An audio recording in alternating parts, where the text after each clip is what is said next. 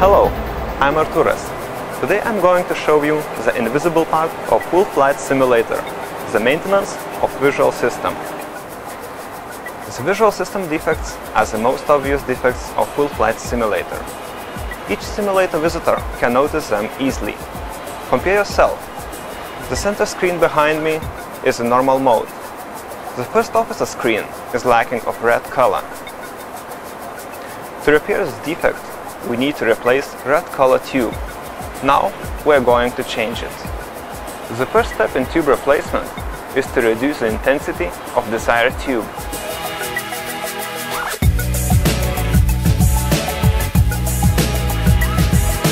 To take even more safety precautions, we will stop image generation program.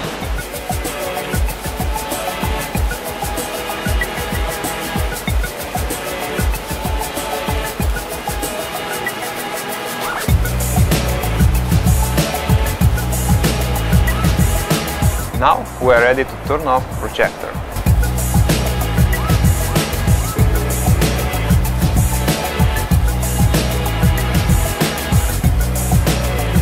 Now we are going to cut off the projector power.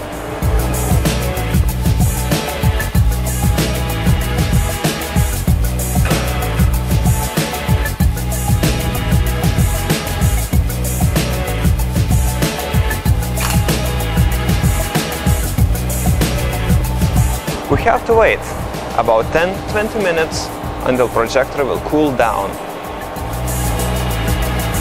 While projector is cooling down, we have to prepare for tube replacement.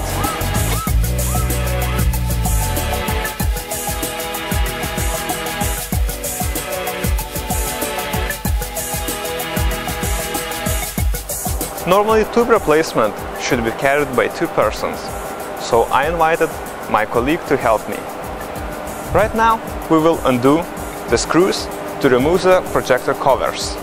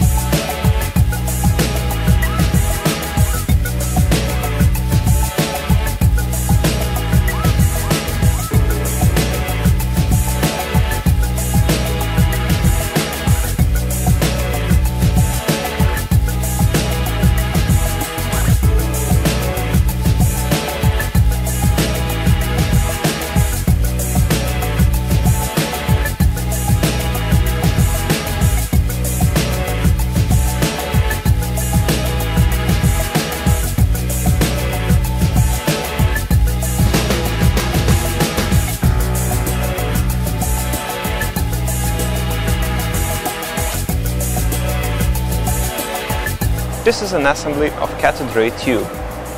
On the front face you can see the glass screen which emits the image. Also you can see the black knobs to adjust the internal coils to accelerate and manage the stream of electrons. In the end you can see the tube cooling air stream.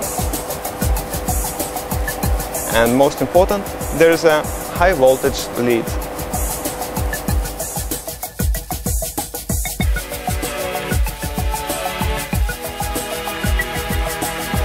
New tube is ready to install.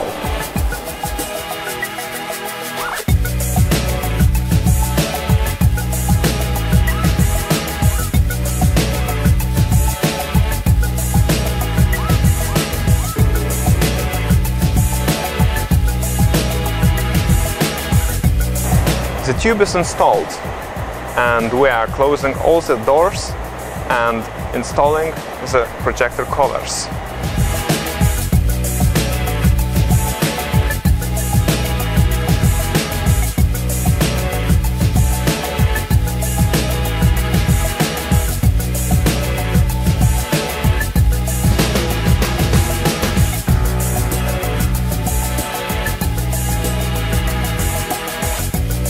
Okay, start image generation.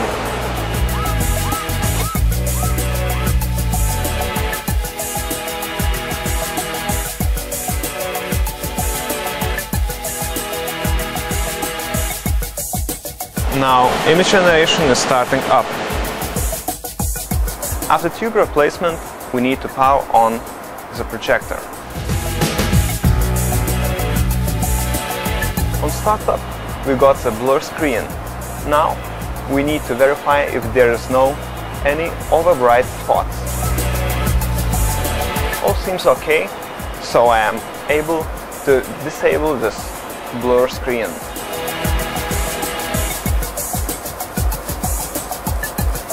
As you can see, the screen is pretty good.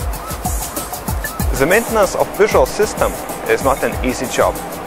After installing the new tube, we need another two or three hours to precisely set up the image of visual system.